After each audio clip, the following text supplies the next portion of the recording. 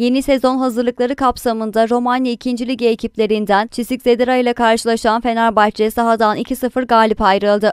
Düzce Topuk Yaylası tesislerindeki sahada oynanan karşılaşmada Sarı lacivertli ekip iki yarıya farklı 11'lerle çıkarken sadece Berke Özer 90 dakika forma giydi. Müsabakanın 26. dakikasında Sinan Gümüş'ün golüyle öne geçen Fenerbahçe ilk yarıyı 1-0 önde kapattı. Sarı lacivertliler maçın skorunu tayin eden golü ise 67. dakikada Serdar Aziz'le buldu.